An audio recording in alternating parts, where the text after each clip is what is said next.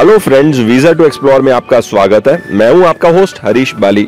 कल रात को हमने डिसाइड किया कि नॉर्थ गोवा की फ़ूड एंड ट्रैवल जर्नी की शुरुआत हम सुबह अर्ली मॉर्निंग छह बजे से करेंगे। दिन भर गोवा की राजधानी पैंजिम में घूमेंगे और फ़ूड एक्सप्लोर करेंगे। हम पैंजिम पहुँच चुके हैं। ब्रेकफास्ट एट कैफ़े भोसले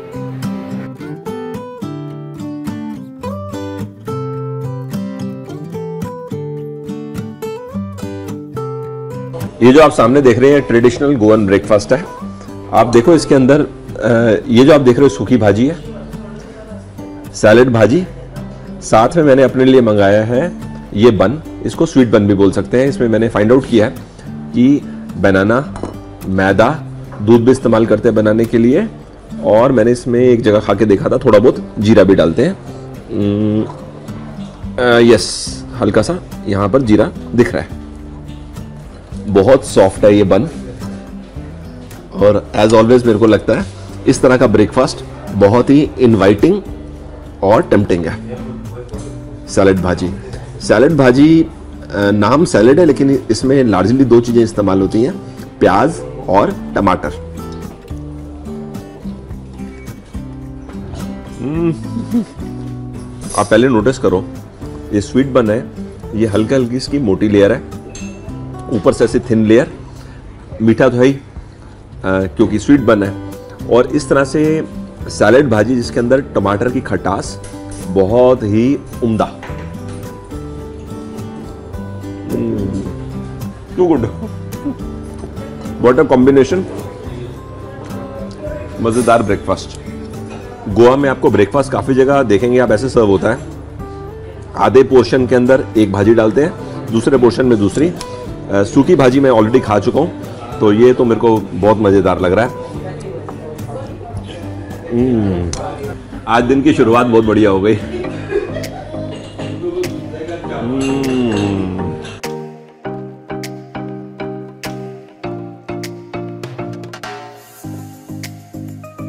अपने प्लान से हम लोग ढाई घंटे लेट चल रहे हैं आठ चालीस पे तो पहुँचे पैंजिम एनीवेज ब्रेकफास्ट करके मैंने पता लगाया कि अब कहाँ व्हाट नेक्स्ट तो किसी ने बताया, आप इन्हीं की बैक साइड लेन में जाइए। और यहाँ पर आप कस्टर्ड और आइसक्रीम का मिक्सर इंजॉय करिए फ्रूट्स के साथ।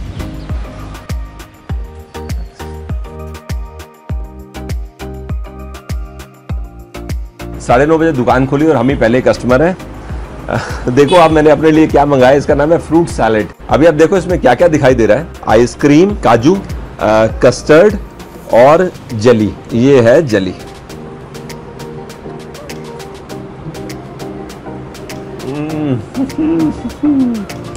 कस्टर्ड और जली तो मैं पहले खा चुका हूँ। काफ़ी बार वीडियो में नहीं बट अदरवाइज़ लेकिन साथ में आइसक्रीम का कॉम्बिनेशन और इस तरह से फ्रूट सैलेड में मेरा पहला एक्सपीरियंस है। वेरी टेस्टी एप्पल बनाना चीकू, कुल मिला के बड़ा मज़ेदार। अच्छा रहा। यहाँ पर आना।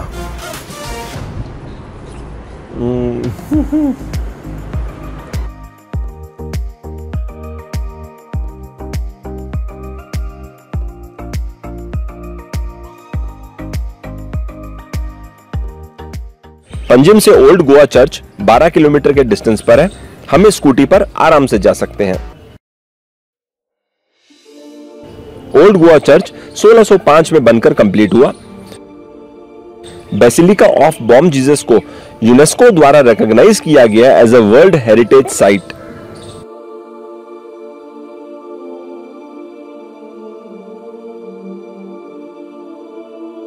the basilica hold the mortal remains of saint Francis Xavier saint Francis की डेथ एनिवर्सरी पर हर 10 साल के बाद होली रिलिक्स को पब्लिक व्यूइंग के लिए डिस्प्ले किया जाता है। नेक्स्ट एक्सपोजिशन होगी ईयर 24-25 में।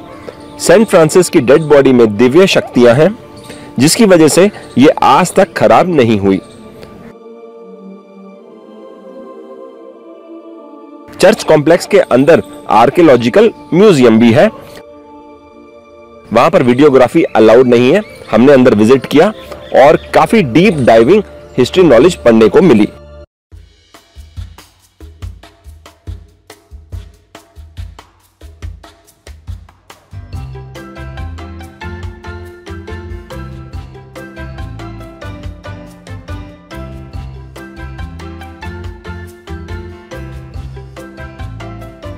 रिट्स क्लासिक 18 जून रोड में हम लंच करने आए। काफ़ी सारी रिकमेंडेशंस के साथ। सामने फ़िश थाली जो आप देख रहे हैं इसके अंदर टोटल मैंने काउंट किया दस आइटम है इंक्लूडिंग फ़िश अब मुद्दा ये शुरू कहाँ से करें?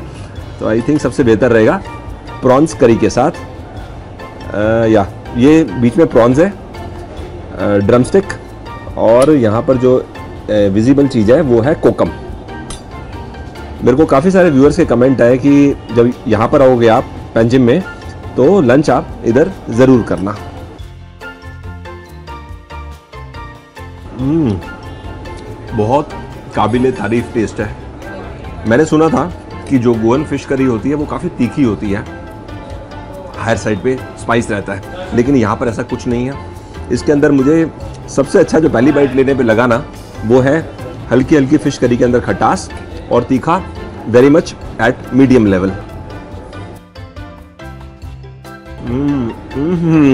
too good सुरमई दिया इन्होंने साथ में। रवा फ्राई करके। एब्सोल्युटली सॉफ्ट और रवा फ्राई करने से मज़ा खाने में बहुत बेहतरीन आ रहा है। गोवा में मैंने बहुत लोगों से बात करी, समझने के लिए कि कौन सी फ़िश है जो सबसे ज़्यादा चलती है तो काफ़ी लोगों ने मुझे बोला कि सुरमई। आपको सबसे ज़्यादा देखने को मिलेगा। हालाँकि बांगड़ा फ़िश बहुत चलती है यहाँ पर बट सुरमई थोड़ी ज़्यादा है। Yummy hmm. ये शेल फ़िश है यहाँ पर जो लोकल नेम है वो है तिसरो। ये देखो मीट कोकोनट और अनियन के साथ। कूल थाली लेने से ये फ़ायदा हो गया कि सब कुछ थोड़ा थोड़ा एक्सपीरियंस करने को मिल गया। इसको बोलते हैं किस्मूर। इसमें ड्राई प्रॉन्स रहते हैं, जो आप ये देख रहे हो। साथ में कोकोनट होता है और अनियन होता है। ड्राई प्रॉन्स को फ्राई करके इस डिश को बनाया जाता है। हम्म बड़ा बेहतरीन टेस्ट है। हल्की हल्की खटास भी है बट वेरी नाइस ये लोकल फ़िश है। कुकड इन अम्बोटिक ग्रेवी आने वाले कुछ दिनों में मैं कोशिश करूँगा कि इस ग्रेवी को और एक्सप्लोर कर सकूँ। अम्बोटिक फ़िलहाल जो फ़िश आप मेरे हाथ में देख रहे हैं ये यहाँ लोकल फ़िश है। तारली हम्म। देखो कितना सॉफ्ट और फ्रेश मुँह में डालते ही मेल्ट हम्म, बड़ी सारी रिकमेंडेशंस थी कि आप लंच यहाँ पर रिट्स पे करना। और मैं काफ़ी सेटिस्फाइड हूँ पूरे टेस्ट से। और ताली के कितनी सारी वेराइटीज़ है उससे। अब ये ख़त्म करने के बाद मैं सोल कड़ी लूँगा, उसके बाद खीर सोल कड़ी मेरे को बहुत पसंद है।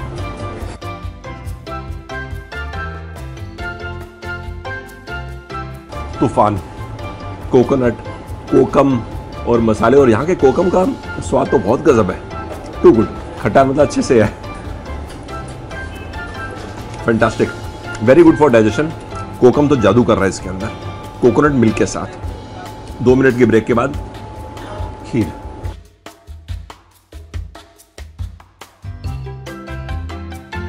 सेमियों से बनी हुई खीर। हम्म। हर तरफ़ से मैंने इंजॉय किया। टोटल थाली फिनिश करने में मेरे को ऑलमोस्ट आधा घंटा लग गया। इंजॉय कर करके खाने में। यहाँ आना काफ़ी प्लेजेंट एक्सपीरियंस रहा।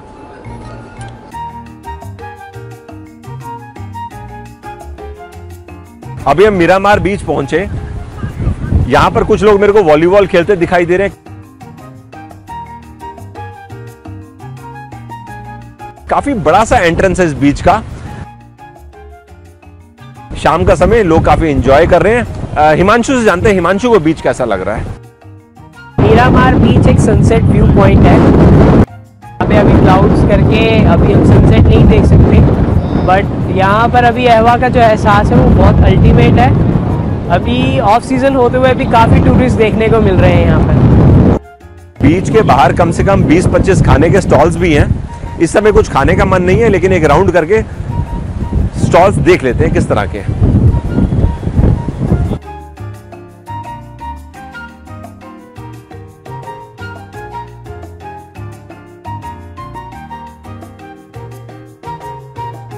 बड़े मिक्स रिव्यूज़ मैंने पढ़े थे इंटरनेट पे डोना पौला के बारे में। फ़र्स्ट हैंड देखने के लिए मैं यहाँ पर पहुँच चुका हूँ। मुझे तो जगह बहुत खूबसूरत लग रही है।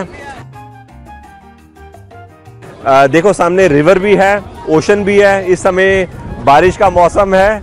यहाँ पर वैसे मैंने सुना लोग सनसेट भी देखने आते हैं लेकिन बरसात के समय में सनसेट विजिबिलिटी ऑब्वियसली नहीं हो सकती। But this place is so beautiful I can see many many tourist around बहुत मज़ा आ रहा है। ऊपर चल के देखते हैं। ऊपर से व्यू कैसा है?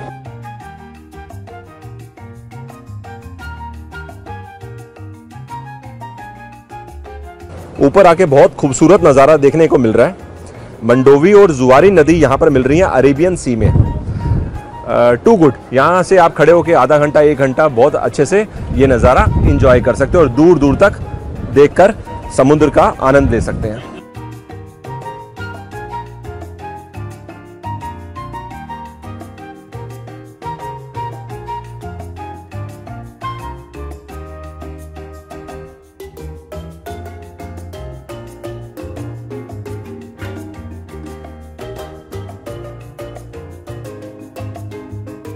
गोवा आए तो कैसीनो तो एक्सपीरियंस करना चाहिए। ये सामने लिखा हुआ है, महाराजा कैसीनो। मैं अंदर चल के पता लगाता हूँ और देखते हैं चल के।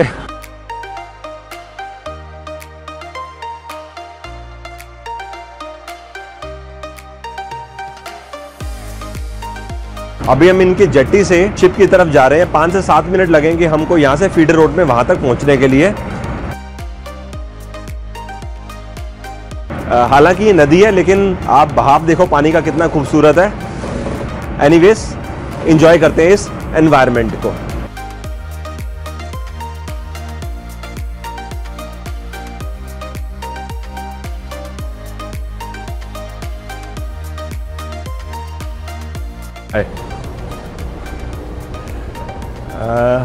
यहाँ पर ये तीन तरह के पैकेजेस हैं। हमने टॉप वाला पैकेज लिया तो twenty five hundred rupees cost किया। अगर यही हम फ्राइडे सैटरडे संडे में आते तो three and half thousand rupees cost करता है। बाकी डिफरेंस लार्जली जो मुझे समझ में आया वो है अल्कोहल के ऊपर कि one can go for a bigger package if you want something premium this is also nice good sitting area और ऊपर की लाइटिंग भी काफ़ी खूबसूरत है। अब मैं ज़रा गेमिंग सेक्शन ग्राउंड फ्लोर पे देखता हूँ। ग्राउंड फ्लोर में यहाँ पर इलेक्ट्रॉनिक गेमिंग सेक्शन है। लॉट ऑफ़ गेम्स कुछ ही दिनों में ये इलेक्ट्रॉनिक गेमिंग सेक्शन स्टार्ट होने वाला है। अब हम फ़र्स्ट फ्लोर की तरफ़ देखने चलते हैं फ़र्स्ट फ्लोर में क्या है। Nine fifteen thirteen seven two hundred रुपए वैल्यू पर coupon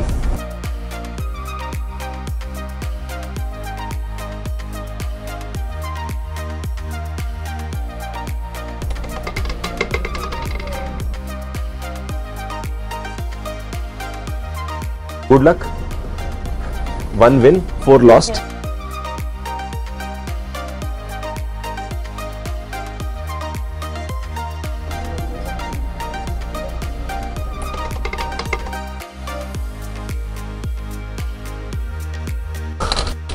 All lost.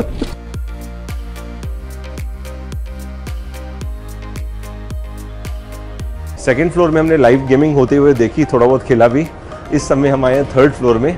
यहाँ पर भी बताया गया कि लाइव गेमिंग है।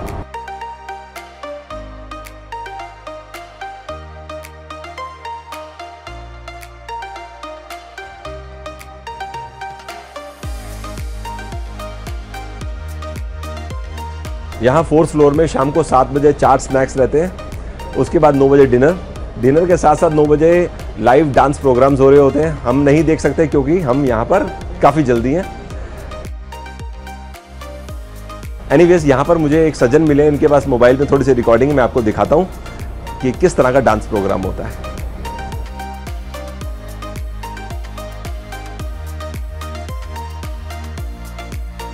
पैंजिम में शिप में आना और कैसीनो देखना हमारे लिए काफ़ी प्लेजेंट एक्सपीरियंस रहा समथिंग न्यू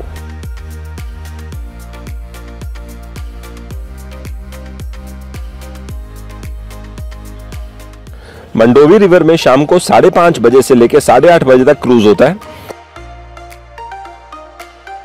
इस समय हम फायर ब्रिगेड के सामने पैराडाइज क्रूज पर आए हैं। सबसे पहले तो डेक पर जाकर खड़े हो जाओ। काफ़ी ट्रेवलर्स ऐसा ही कर रहे हैं। बहुत अच्छा लग रहा है यहाँ पर ऊपर खड़े होना और इस तरह व्यू को एंजॉय करना। नीचे कल्चरल डांस प्रोग्राम चल रहे हैं। ट्रैवलर्स वो भी खूब इंजॉय कर रहे हैं।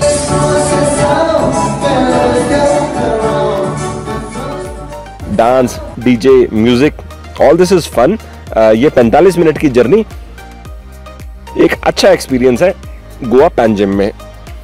जनरली क्रूज में अलग अलग लेवल्स होती हैं। Uh, ये कह सकते हैं कि ये फेरी uh, से एक लेवल ऊपर है। इसके लिए इसका नाम भी बोट क्रूज है।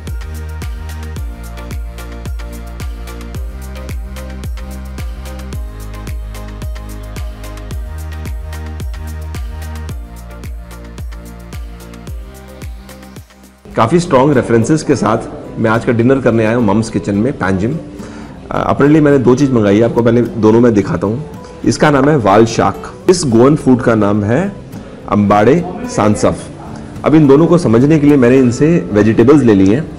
ये जो आप जो देख रहे हैं बीन इसका नाम है काउपी यहाँ पर शब्द इस्तेमाल होता है वाल।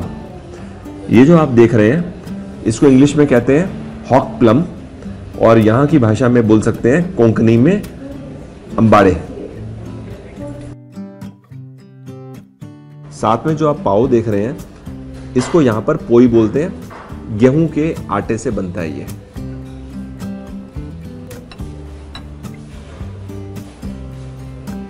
मेरे को काफ़ी लोगों के कमेंट आए थे कि, पैंजिम में यहाँ पर आप लंच या डिनर ज़रूर करना।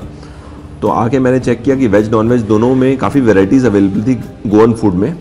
लेकिन इस समय मेरा नॉनवेज खाने का मन नहीं है, इसके लिए मैंने अपने लिए गोवन ट्रेडिशनल वेज फ़ूड मंगाया, जो आप अभी सामने देख रहे हैं। इस बीन के साथ जिसका नाम वाल है कोकोनट तो क्लियरली दिखाई दे रहा है, ऊपर धनिया से बड़े खूबसूरत ढंग से गार्निशिंग करी है। और मेरे को ना यहाँ देखो आप मस्टर्ड सीड्स भी क्लियरली विजिबल है। फ़र्स्ट फील जो एक स्पून खाने के बाद आई है मुझे, वो है कि मैं बहुत हेल्दी फ़ूड खा रहा हूँ। तो अब यहाँ पर जिस खूबसूरती से कोकोनट का इस्तेमाल किया इस ड्राई भाजी में, मेरे को बहुत मज़ा आ रहा है। ये गोवा की लोकल बीन है, वाल। तो मुझे डाउट है कि गोवा के बाहर कहीं और मिलेगी।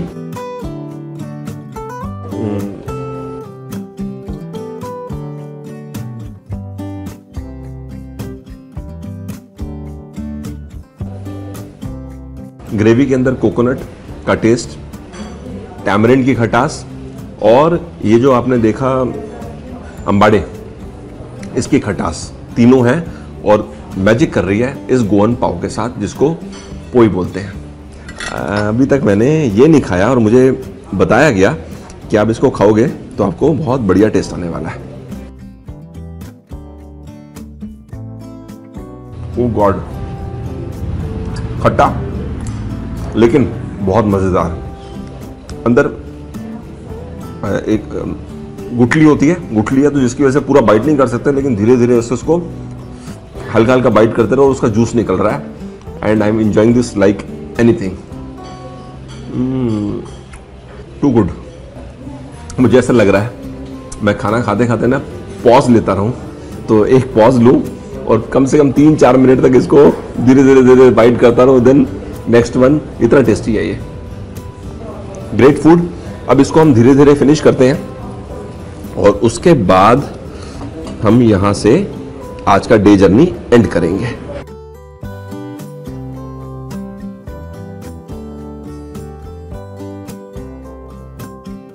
यहाँ पर इतना कुछ ट्रेडिशनल फ़ूड में है तो मैंने अपने लिए डेजर्ट मंगा लिए है।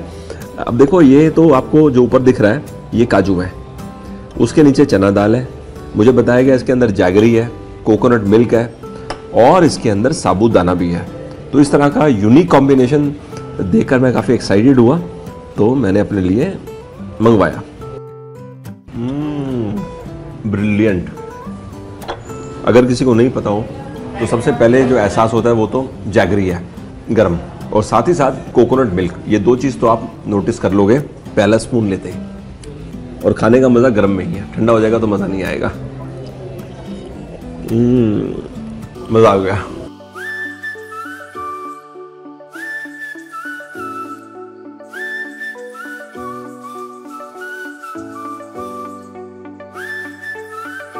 मैं कोशिश करूँगा, आने वाले कुछ दिनों में मैं एक बार और पैंजिम ज़रूर विज़िट करूँ और गोवन फ़ूड को और डिटेल में एक्सप्लोर करूँ। इस एपिसोड में आपको सबसे अच्छा क्या लगा ये हमें कमेंट में ज़रूर बताइएगा। हमेशा की तरह मैं इंतज़ार करूँगा आपके कमेंट्स का। That's it see you soon thanks for your time